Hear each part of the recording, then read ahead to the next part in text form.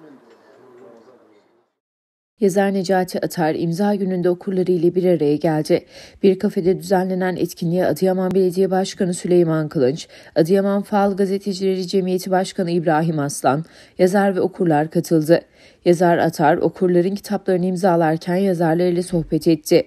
İmza gününe katılan Belediye Başkanı Süleyman Kılınç yaptığı açıklamada mümkün olduğunca yazarlara destek olmaya çalıştıklarını belirtti. Evet, çok güzel bir mekandayız. Küfe e, kitap evi hakikaten mekan olarak çok güzel bir mekan. Hem e, konsept olarak, dizayn olarak çocuklarımızın hem kitap okuyabileceği, e, ders çalışabileceği ve aynı zamanda nitelikli vakit geçirebileceği bir mekan. Tebrik ediyorum. Tabii burada çok güzel e, bir mekanda e, çok değerli e, Necati Atar kardeşimizin imza günündeyiz. E, Necati Bey hakikaten şehrimizin, memleketimizin çok önemli değerlerinden bir tanesi entelektüel birikimi, e, sosyal, kültürel açıdan ki şey birikimi noktasına hakikaten bizim için çok ciddi bir değer. E, onun kitap imzalama e, şeyindeyiz, toplantısındayız. E, tüm okuyuculara hakikaten Necati Bey kitapları tavsiye ederim. Biz de tüm kitapları olmasa bile hemen hemen hepsini okuyoruz. Hakikaten müthiş bir birikim, müthiş entelektüel bir birikim. E, kendisine başarılar diliyorum. Ee, biz tabii mümkün mertebe elimizden geldiğince yerel e, düşünürlerimize, entelektüellerimize, yazarlarımıza, şairlerimize yardımcı olmaya çalışıyoruz. Onlar için ne yapsak azdır. Ben tekrar canı gönülden tebrik ediyorum, kutluyorum. Çocuklarımızda, gençlerimizde bu kitapları okumalarını tavsiye ediyorum. Tekrar hayırlı uğurlu olsun. Teşekkür ediyorum. Yazar Atar ise katılımcılara teşekkür etti. Bugün e, Küfe Kitap Kafe'nin yetkililerinin e, hem e, mekanın açılışı hem de kitaplarımızla ilgili düzenlemiş olduğum imza ve söyleşi günündeyiz.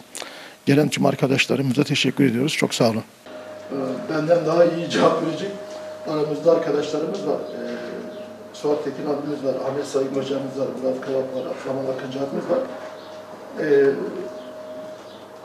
en azından son kitap, ondan bir önceki kitabımızla ilgili e, yani onların yaptığı okumalar bizim e, hem kitabın şekillenmesine hem de kitap olarak e, piyasaya çıkmasına e, neden oldu.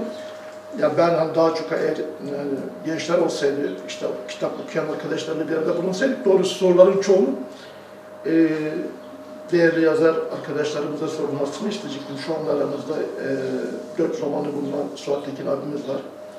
E, şiir kitabı çıkan Ahmet Saygı hocamız var. Ama e, hep ismini unuttuğum kitabın ismini unuttum. Murat Kabak hocamız var. Ee, daha çok böyle psikolojik bir roman e, diyelim. Yani hem çok iyi yazan arkadaşlar var hem de e, bizim e, kitapların içine ciddi bir şekilde giren ve şekillenmesine yol açan arkadaşlarımız burada şu anda. Yazmaya herkes gibi herhalde ilkokulda başladık diyebiliriz. Yani ilkokulda başladık. O günden bugüne yazıyoruz ama bütün yazmalarımız, e, bu kitaptaki yazılar da dahil tamam amatörce. Yani profesyonelce bir ilgi alanımız değil. Meslek olarak mali müşavirlikle uğraşıyorum. Ama yazıyorum. E, herkes gibi, herkes kadar diyelim yani.